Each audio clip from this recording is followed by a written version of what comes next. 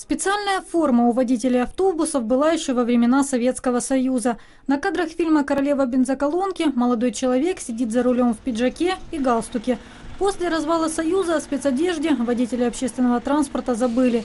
Вернуть дресс-код решили в Харьковском горсовете. Обязательное условие – синий верх. Брюки могут быть любые. Единственное требование, чтобы не было э, вот этих вот трусов, которые до колена, а все ходили в нормальных брюках. Рубашка с эмблемой фирмы, на которой работаем. Что еще? Ну, еще и водители, обозначение водителя. Константин показывает новую форму. В такой голубой рубашке с нашивками на работу он должен ходить каждый день. На линию не выйдешь, если не- не- нет рубашки.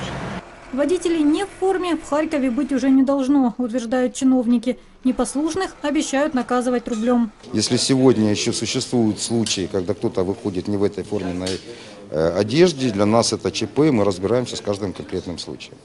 Мы решили проверить, действительно ли водитель без формы нынче нонсенс. Это остановка в центре города. Здесь водитель за рулем в обычной футболке. Постирал, сохнет. Вчера работа очень потная, грязная. И постирал, сохнет. Завтра одену. А это остановка недалеко от станции метро Академика Барабашова. Здесь мы отыскали сразу несколько водителей в штатском.